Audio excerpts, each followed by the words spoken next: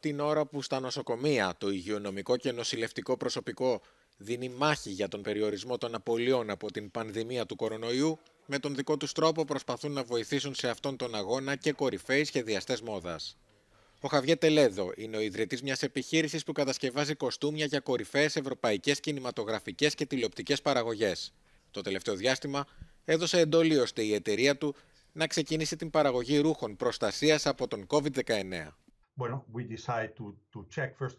Αποφασίσαμε πρώτα να ελέγξουμε τι είχαμε στις αποθήκες μας, όπου υπήρχαν πολλά πράγματα που είναι χρήσιμα από διαφορετικές σειρές και παραγωγές.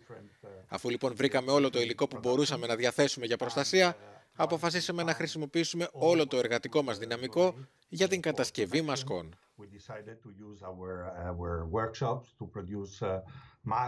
Από τα πιο χρήσιμα υλικά που διατέθηκαν ήταν αυτά που είχαν χρησιμοποιηθεί για την δημοφιλή σειρά Τσέρνομπιλ. Ωστόσο, είναι κάτι διαφορετικό να κατασκευάζεις για την τηλεόραση και διαφορετικό για την πραγματική ζωή. Για αυτήν την παραγωγή αγοράσαμε πολλά πλαστικά για προστασία. Μιλάμε για πραγματικά προστατευτικά ρούχα και ευτυχώς που τα είχαμε αυτά και μπορούσαμε άμεσα να βοηθήσουμε. Αυτά τα δωρήσαμε.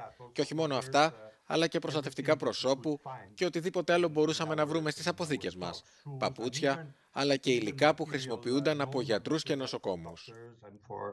Um, Στην Στοκχόλμη μια αντίστοιχη προσπάθεια είναι σε εξέλιξη με τις μοδίστρες του βασικού θεάτρου της πόλης να εργάζονται από κοινού για την δημιουργία ιατρικών ποδιών.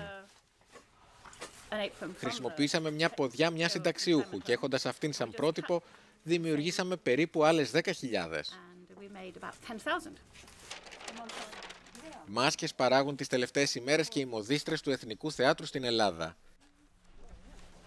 Με την έλλειψη που παρατηρείται σε πολλές περιοχές της Ευρώπης, διάφορες βιομηχανίες αλλά και μικρότερες βιοτεχνίες αλλάζουν την συνήθη παραγωγική τους δραστηριότητα ώστε να καλύψουν τις ανάγκες που έχουν δημιουργηθεί εξαιτίας της πανδημίας του κορονοϊού.